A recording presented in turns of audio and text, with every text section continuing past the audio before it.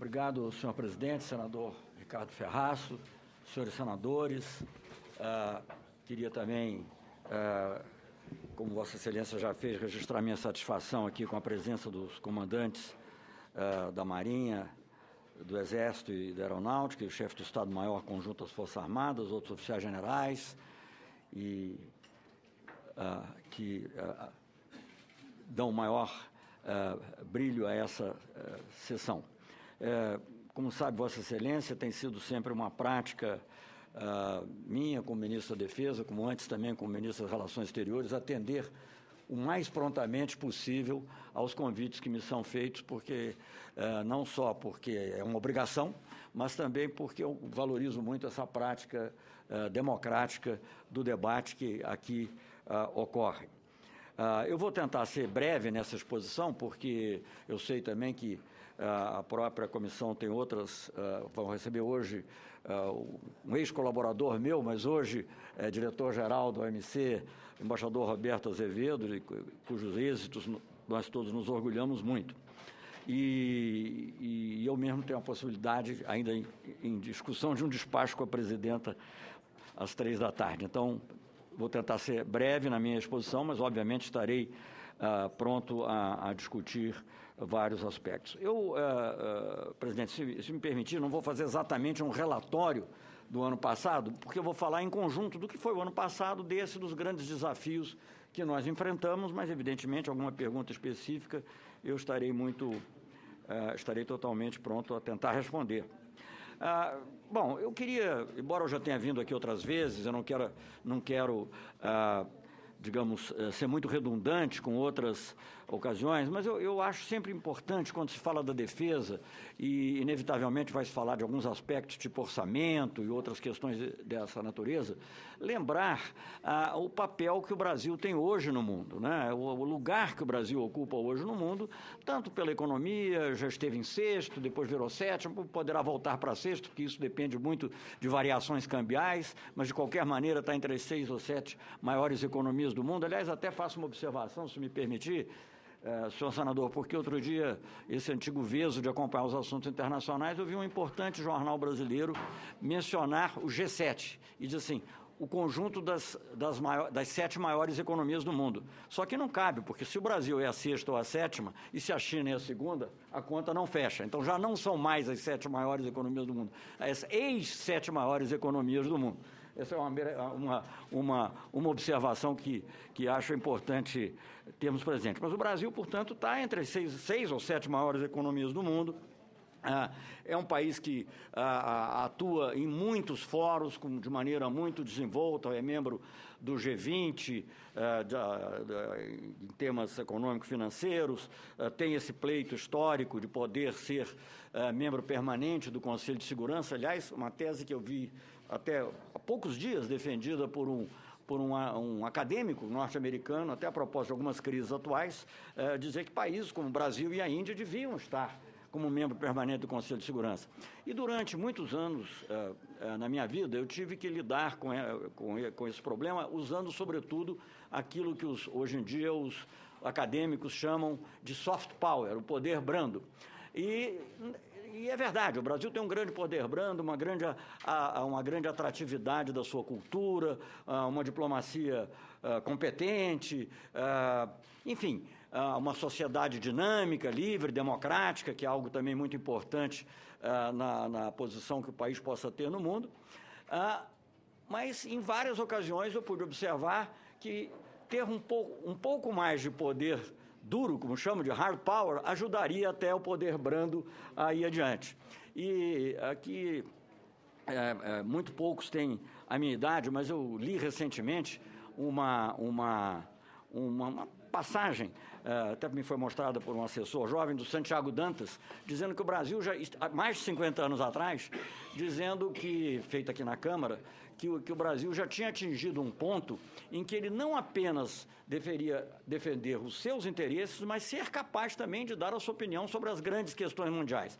Eu complementaria isso, passados 50 anos, dizendo que para que você possa fazer isso de maneira efetiva, você necessita não só do poder brando, mas também de uma certa capacidade militar que ampare esse poder brando. Então, isso é, digamos assim, a primeira razão pela qual. Ah, termos Forças Armadas bem equipadas, bem adestradas, é absolutamente indispensável. Eu falo, eu falo isso, parece uma coisa óbvia, mas é que isso, e eu, por isso eu valorizo tanto os debates também aqui no Senado e na Câmara, isso tem que ser um entendimento, não do ministro da Defesa, ou mesmo da Presidenta da República, mas da sociedade brasileira.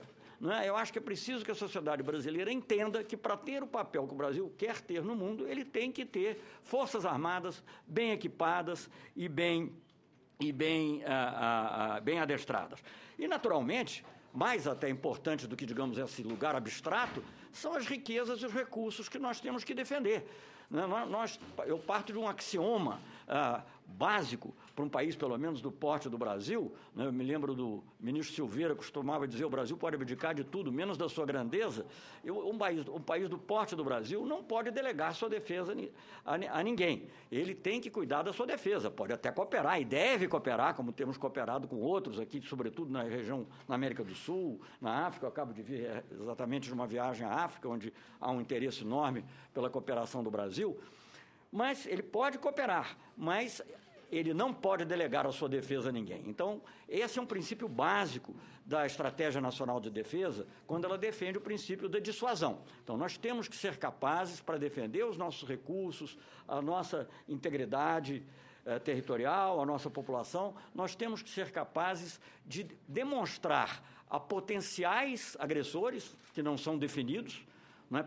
No mundo moderno, aliás, essa é a própria doutrina que se emprega hoje, é, é a, chamam-se a estratégia por capacidade, né, em, vez de ficar lidando com hipóteses específicas de, de emprego da força militar, nós temos que ser capazes de demonstrar, temos que ser capazes de demonstrar que quem quiser, se algum país, por alguma razão, quiser eh, nos, ah, de alguma maneira, ah, ah, nos agredir ou, de, ou, ou, ou impingir sobre os nossos recursos, nós teremos a capacidade de causar um dano que que faça com que ele pense duas vezes. Eu acho que isso é o que nós temos que pensar num mundo que é cada vez mais complexo, que você não pode mais dividir entre leste e oeste, que você não pode mais dividir de maneira ideológica, uh, é, que é um mundo de muitas complexidades. Então, essa capacidade é absolutamente fundamental e ela é indelegável. E isso só é possível com forças armadas, mais uma vez, volto a dizer, bem equipadas e bem, uh, uh, e bem adestradas.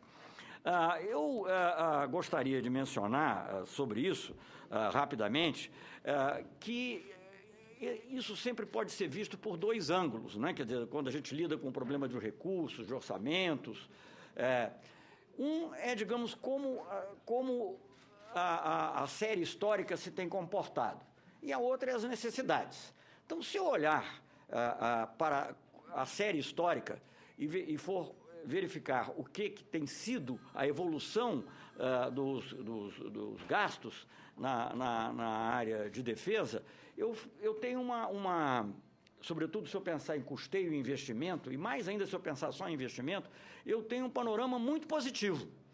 Porque números, uh, se me permitir, eu tenho depois detalhados se for necessário, mas apenas para não cansar com muita cifra quebrada, o total de custeio e investimento que o Brasil investiu em 2003 era de 3,7 bilhões, 3,7 bilhões de, de, de, reais.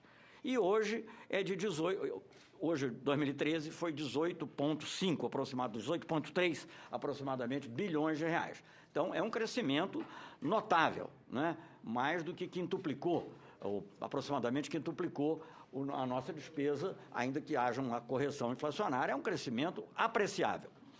Ah, se eu for considerar apenas investimento, que também é uma, uma maneira importante, nós vamos ver que aumentou de cerca de 800, eh, quase 900 milhões, 900 eh, milhões, 0,9 bilhão de, de reais para 8,9, quer dizer, quase 9 bilhões. Então, aí decuplicou.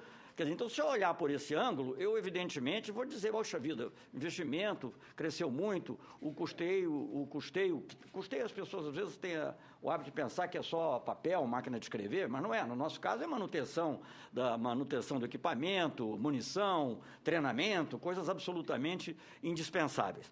Então, eh, se eu for olhar por esse ângulo, eu vou ficar até muito satisfeito. Agora, se eu olhar pelo ângulo das necessidades ou da comparação internacional, a, a, perspectiva já é um pouco outra. Falando, por exemplo, da comparação internacional, se eu for, digamos, buscar uma comparação com os BRICS, o Brasil, dentro dos BRICS, juntamente com a África do, a África do Sul, é o país que menos gasta em, em, em, em uh, menos, menos, cuja menor proporção do, tem a menor proporção de gastos em defesa em relação ao PIB, cerca de 1,5%. A média dos BRICS, acho que é 2,3% mais ou menos, o maior é a Rússia com quatro, enfim, e por aí vamos. De qualquer maneira, portanto, nós estamos bem abaixo ah, ah, da, da média dos BRICS, 2,3. Talvez até por uma certa coincidência, porque eu não posso dizer que uma coisa foi pensada por causa da outra. No nosso, o nosso plano, há um plano que nós estamos desenvolvendo, que é o plano de articulação e equipamento de defesa, que já está sendo feito há muito tempo, porque é, é uma, é uma tarefa que não é simples, né? porque o primeiro plano foi, digamos assim, uma lista do que seria ideal. Aí, evidentemente, daria algo que seria cinco vezes o orçamento de hoje, algo que é impossível pensar, ah, levando em conta as outras necessidades que o país tem. Nós estamos fazendo, uma, uma fazendo depois uma, uma, grande depuração desses gastos, nós chegamos a uma cifra que nos levaria a um número parecido com esse da média dos BRICS. Quer dizer, para atender o que, digamos, as Forças Armadas considerariam mais essencial para a defesa do Brasil, nós chegaríamos a uma cifra aproximada eu faço isso com uma certa ressalva, porque a gente não sabe exatamente quanto vai ser o PIB, e nem, nem enfim, mas aproximada a, a essa que é a, a, a cifra que, que, os países dos BRICS gastam, que é cerca de 2,3, 2,2, 2,3. Então, eu aqui até, uma vez que já anterior, em que tive a honra de ser convidado, eu mencionei que o ideal, nós hoje gastamos cerca de 1,5% do PIB, chegarmos a cerca de 2%, num plano de 10 anos, porque isso também toma tempo, 10, 12 anos, enfim, algo por aí. Então, essas cifras todas mais ou menos se aproximam e apontam para essa necessidade.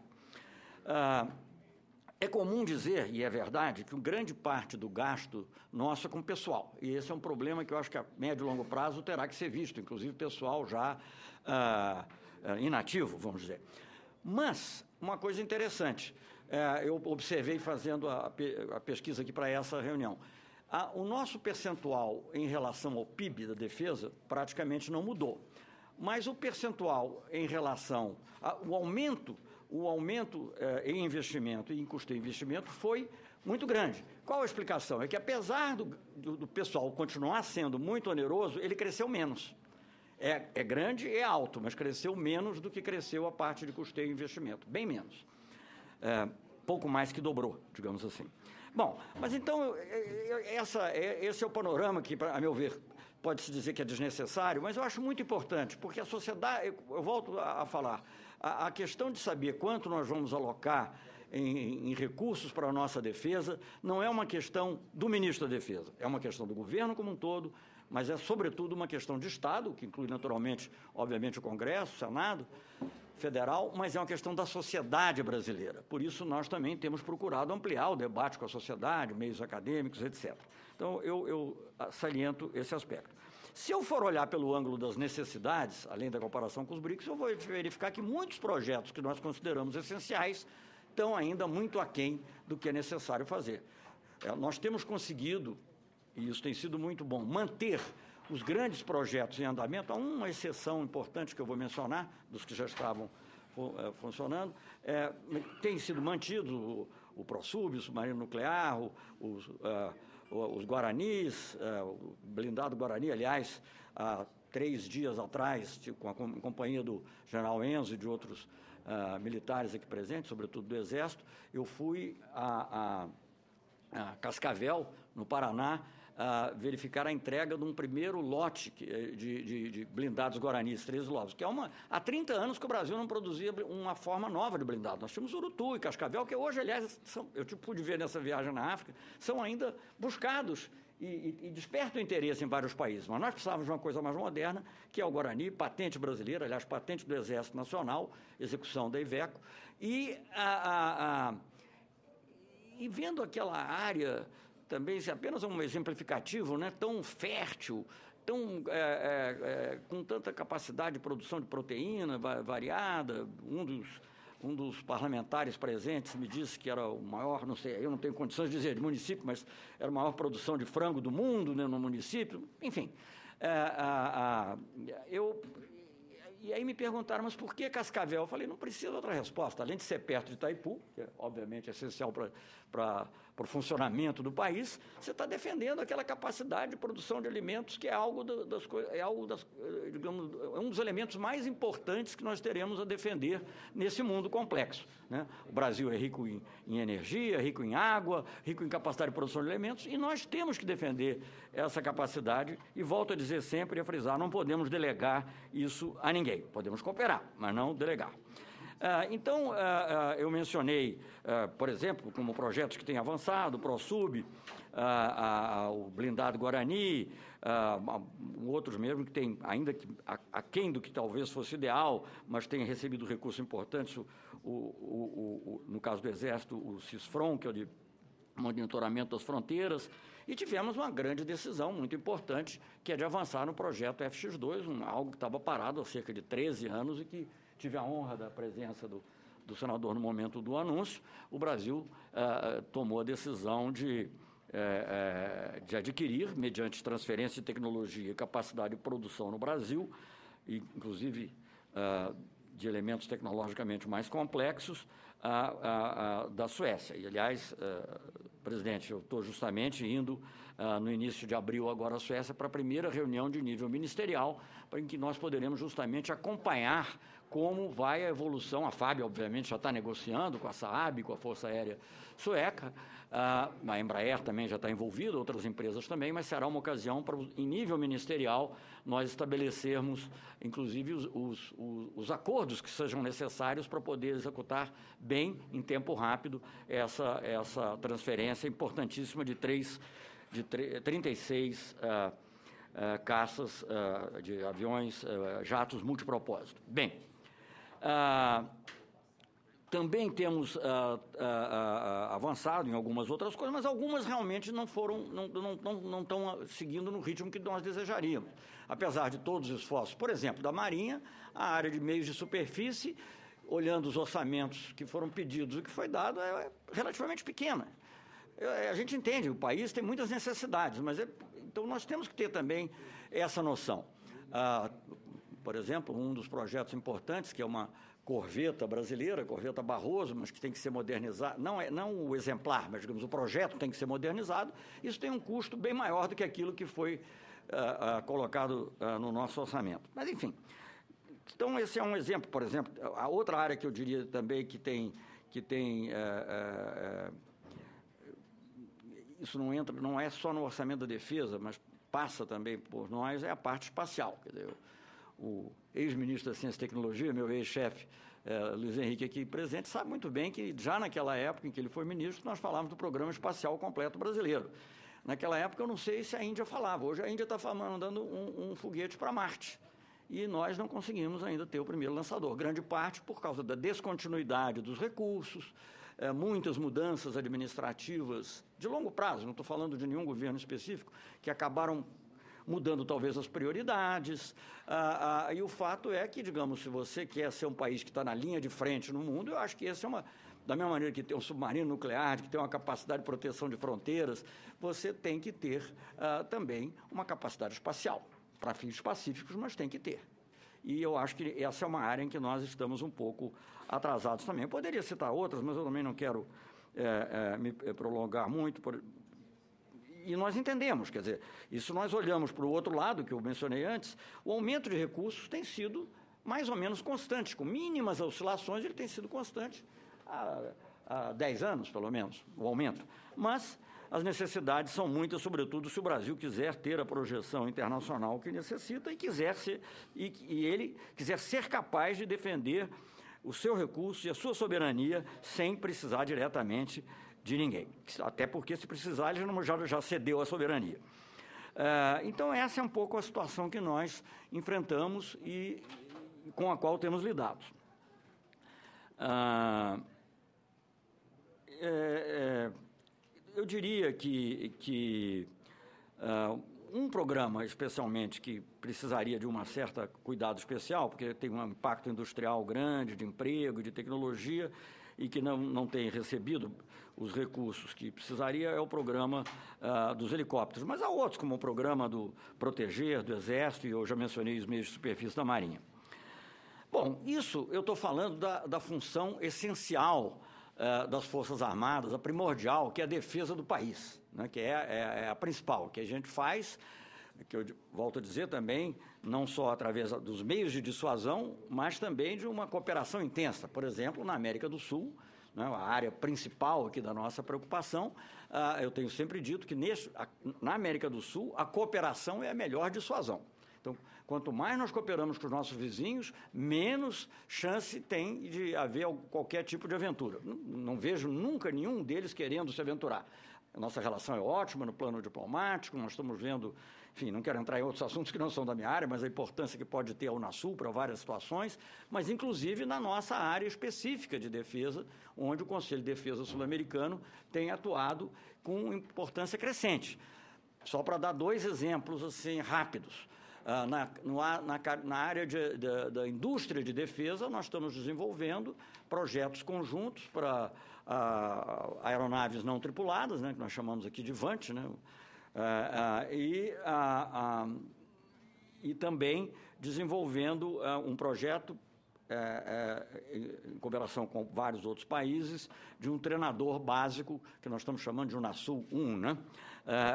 Isso na área de indústria. Então, isso vai dando um conhecimento, nós vamos alargando aos poucos a base industrial sul-americana, que também é algo importante. Claro que nesse contexto o Brasil vai sempre se destacar, mas a gente tem que ter também uma compreensão de que você não pode só uh, uh, querer vender. Né? Eu vou dar um exemplo também com a Colômbia. Né? O Brasil vendeu um número importante de, de super tucanos uh, para a Colômbia. E nós acabamos de comprar, quer dizer, acabaram de chegar recentemente, né, quatro lanchas blindadas colombianas, porque eles têm lanchas muito boas. Aí você pode argumentar, ah, não, mas você podia procurar tal outro parceiro. Gente, mas se a gente quer vender, a gente também tem que comprar. É, é, é, básico. E se nós queremos uma integração sul-americana que se estenda à área da defesa, nós temos também que envolver parceiros. Só para dar um outro exemplo, a Argentina está envolvida também no projeto do KC-390, o novo transportador de tropas e cargueiro e também reabastecedor em voo que a Embraer está preparando. Então, quando é possível, claro que em muitos casos não é possível, nós estamos tentando fazer esse esforço. Mas além desse aspecto, digamos assim, mais material, importantíssimo, eu também acho que há um aspecto doutrinário. E aí eh, quero totalmente separar a ideia de doutrina de ideologia, quer dizer, a visão da, da, da defesa dos nossos recursos naturais, a importância de trabalharmos juntos, até porque alguns países não terão condições de sozinhos defender os seus, os, esses próprios recursos, precisarão de ajuda. E nós mesmos também precisamos da cooperação de, de, de vários, de vários outros. E para isso, também a, a, a, o, o, Conselho de Defesa Sul-Americano tem, tem contribuído. Nós já temos algumas atividades nesse campo, inclusive há um Instituto de Estudos Estratégicos de Defesa na Argentina. A nossa Escola Superior de Guerra tem realizado, já realizou duas, duas vezes, vai realizar de novo esse ano, um curso superior, um curso para oficiais, superiores em defesa também, chamamos de CADSUL. mas a ideia que, que, que, que foi desenvolvida e já foi aprovada é a criação de uma escola sul-americana de defesa, que eu acho algo muito importante. Quer dizer, eu acho que nós temos que ter uma visão sul-americana dos problemas de defesa. Eu digo nós, acho que isso é em benefício, inclusive, do Brasil, mas também dos outros países. E com a, a nossa ideia, já em princípio aprovada, quer dizer, não é só nossa, discutida com outros países, para evitar qualquer ideia de que alguém está monopolizando e que há uma ideologização, é manter algo plural. Né? É, então, é, a escola, na realidade, vai ser uma articulação de vários programas, alguns que já existem e outros que passarão a existir. Entre os que já existem, o nosso CADSUL, feito pela Escola Superior de Guerra. Bem, então, digamos, a cooperação complementa a, a dissuasão e apenas é, eu gostaria de, se me permitir, muito rapidamente, fazer uma rápida referência à, África, porque foi a última viagem que eu, que eu fiz e, e tem tempinho ainda, senador? a, a, a, viagem à África, eu tive em Moçambique, a África do Sul e, e República Democrática do Congo. Bem, se permitir, vou falar muito rapidamente sobre, sobre, sobre não sobre as relações desse, com esse país, mas no caso de Moçambique, ah, eles têm uma expectativa muito grande com a, com a, possibilidade da nossa cooperação. Eles têm, querem diversificar, não querem ficar dependentes somente de outros países que oferecem, ou às vezes dão de graça até ah, os recursos, tem muito interesse na nossa cooperação, no treinamento, e eu acho que essa semana mesmo, se eu não me engano, um grupo da Marinha está indo a, a visitar Moçambique, se não é essa semana, é a próxima, enfim, por esses dias. Ah, ah, nós estamos, conseguimos uma aprovação na comissão, ah, comissão de, de Relações Exteriores e Defesa da Câmara, mas terá que vir mais tarde, passar pelo plenário e depois chegar aqui ao Senado, a, a, autorização para doarmos três tucanos, uh, antigos tucanos, não super tucanos, para Moçambique. É do nosso interesse, não só porque é cooperar com um país, uh, uh, não, com um país com o qual temos muitas relações, mas também porque é, é, é, o que os outros países fazem. Quer dizer, você doa o tucano, depois, quem sabe, você vende o super tucano. Não é? e, e eu não estou falando de algo abstrato, porque nós já vendemos um número considerável de supertucanos para países africanos. Acho que Angola já tem mais de seis ou oito, uh, países pequenos como Burkina Faso compraram três, enfim. Então, não estou falando de algo abstrato, estou falando de algo que pode ocorrer. Moçambique foi uma conversa sobre esses temas, grande interesse em cooperação. Para nós também, crescentemente, nós temos interesses eh, comerciais que se, que se multiplicam em vários países. Na África do Sul, para também falar rapidamente, eh, eu entre outras coisas, há uma excelente cooperação eh, envolvendo a Força Aérea e a, a, a, a Força Aérea Sul-Africana em torno de um míssil ar, ar de última geração, chamado a, a, a Darter. É, é, e esse é, é, realmente, e eu pude constatar, vendo lá e conversando com as pessoas que entendem mais do que eu, que são técnicas, o alto nível de sofisticação que tem a, a, a tecnológica da indústria sul-africana. Mas as indústrias brasileiras estão participando também, como a Mectron, até a Opto, que é uma empresa que andou até em dificuldades aqui no Brasil, mas que está produzindo, digamos assim, o olho uh, do, do uh, do foguete, e é uma cooperação extraordinária. E eu acho que essa cooperação pode e deve, na minha opinião, ser estendida também para as outras forças. Aliás, a Marinha já tem uma operação importante, uma, não, não na área industrial, mas uma, uma, uma operação importante que se chama IBSAMAR, que é uma cooperação dos três países do IBAS, Índia, Brasil e África do Sul, manobras navais, que é algo também muito importante aqui para o nosso Atlântico Sul e é uma maneira também de nos relacionarmos com outros países em desenvolvimento. Mas eu tenho certeza que também, ah, estão em estudos e poderão ser desenvolvidos projetos uh, do, do, Exército, da própria Marinha, sobretudo nessa área que envolve, que envolve uh, alta tecnologia, inclusive eletrônica, que é muito difícil obter sem restrições. E a vantagem da cooperação nossa com a África do Sul é que, como é um país aproximadamente do nosso nível, não há restrição, até porque algumas coisas estão sendo desenvolvidas juntas pelas nossas empresas. Então, eu acho algo muito importante. Eu digo porque foram três países, foram três situações totalmente diferentes. E foi a República Democrática do Congo, com a qual o Brasil tem, na realidade, relações relativamente escassas, eu diria. Temos um embaixador lá, naturalmente, e tem, mas enfim.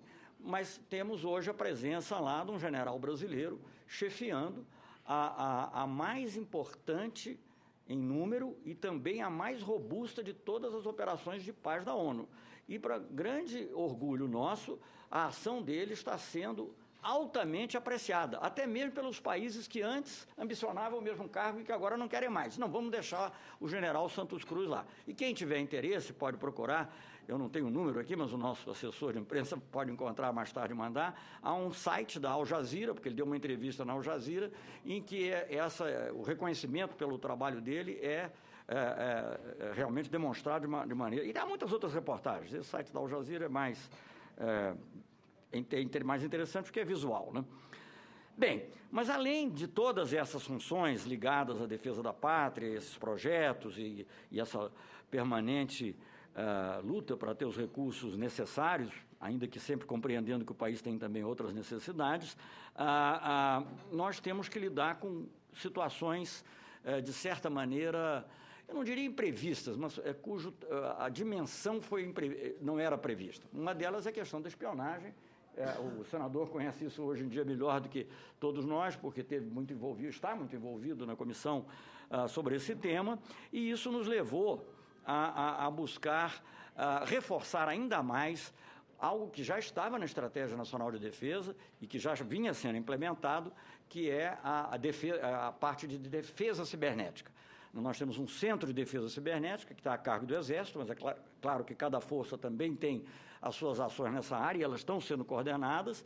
E nós estamos, eu determinei, em função dessas questões de espionagem, eh, que fosse feito um grupo de trabalho, que nos dessem recomendações mais imediatas, e, e, e, e, na realidade, essas recomendações estão ainda sendo objeto de, de, de, exame, de como implementar, mas eu vou salientar duas, porque há várias, né, mas eu diria é, duas. Uma é a formação de uma escola de defesa cibernética, que pode servir, inclusive, para outros órgãos da administração, aliás, queremos trabalhar com eles, porque a questão de recursos humanos é absolutamente fundamental nesse campo, porque não adianta você ter o equipamento perfeito, você ter que depender de uma empresa estrangeira para fazer a, a, revisão, por exemplo.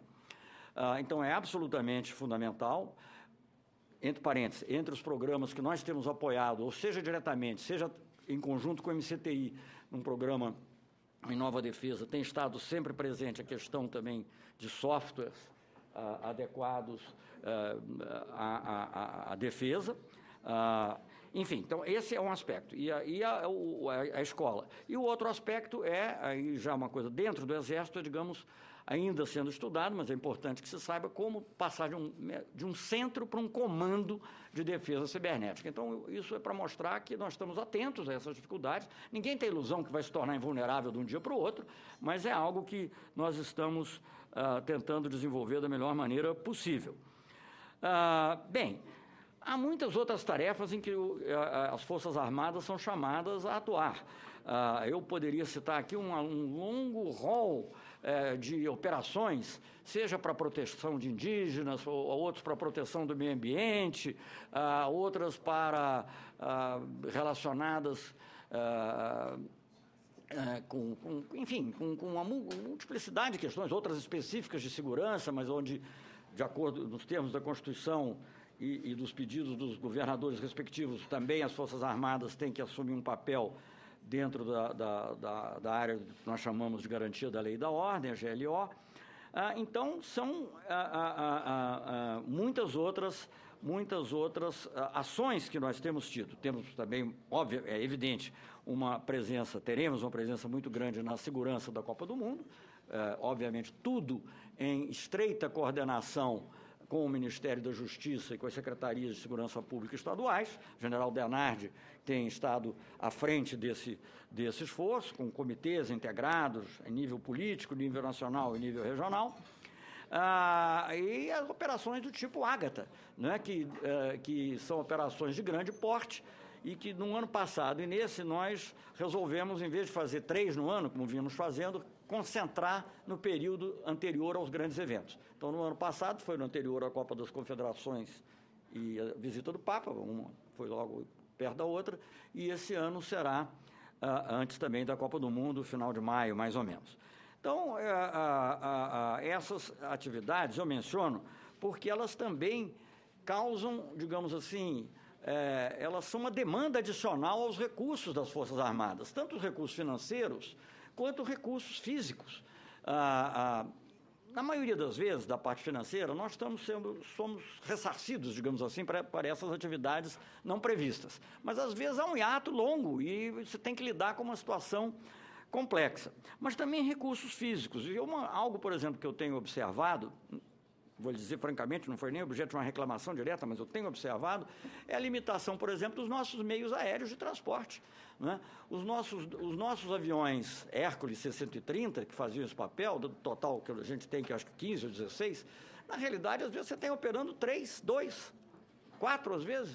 Né? Então, é uma limitação muito grande. Os aviões também que nós tínhamos para transporte de tropas foram desativados por determinação da presidenta e com razão, porque era o antigo sucatão, que já tinha dado tantos problemas, e quando ele teve o último problema no aeroporto de, de eh, Porto Príncipe, onde poderia ter havido uma tragédia, mas felizmente não houve, a decisão foi ah, ah, desativá-los. Mas, obviamente, isso tudo também limita as possibilidades acompanhado de uma demanda crescente da sociedade, que nós ah, procuramos atender. Todos os programas, eh, eh, ou às vezes parte do governo do Estado, evidentemente, tem que passar por algum órgão federal, tipo Ministério da Integração, etc. Algumas outras vezes são programas já ah, ah, federais, e eu, eu, acho que é muito importante que as Forças Armadas exerçam também essa capacidade, porque é uma maneira de deixá-las próximas da população, mas, evidentemente, tudo isso não só tem um custo financeiro, mas tem também uma, um, é, representa uma demanda adicional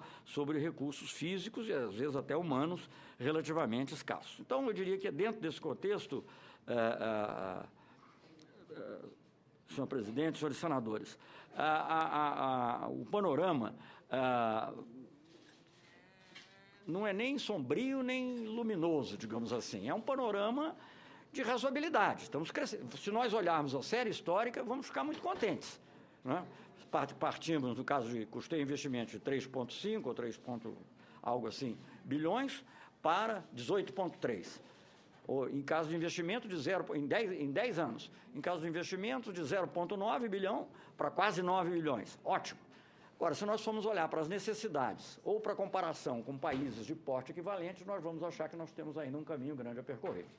Essa seria a minha apresentação para dar tempo também para as perguntas. Obrigado, desculpe excedi.